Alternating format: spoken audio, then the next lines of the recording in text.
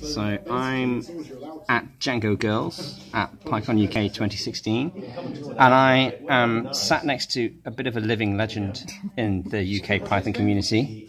Somebody And this young- doesn't know to code. This this young lady here, uh, who who are you, Mary? I'm Mary. I'm Mary. Uh, you're Mary. Uh, whenever anybody says Mary and you're a Python programmer in the UK, they know immediately they mean you.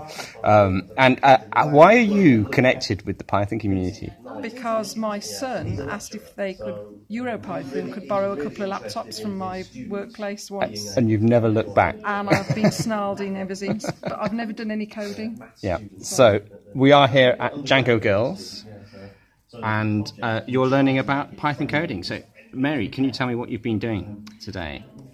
Well, basically, working through the tutorial, Yeah. um, making a lot of mistakes, and, Yeah. and That's the only way to learn, you know.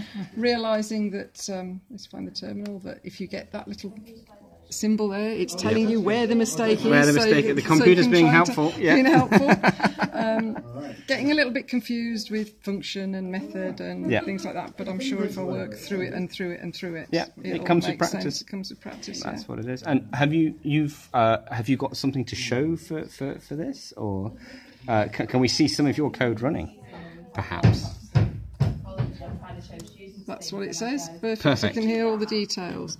That was using else statements. So Shall I show you conditional ifs and elses. Yes, there you go. That's what it was. Okay, and we're doing a code review live on camera. Wow, look at that. And it worked. Cool, cool. That's great, and it, it's it's a real big sense of achievement when that Very happens. much so. Especially So- when it, you type something in, you run it, and it works. You feel like, yay! Awesome, awesome.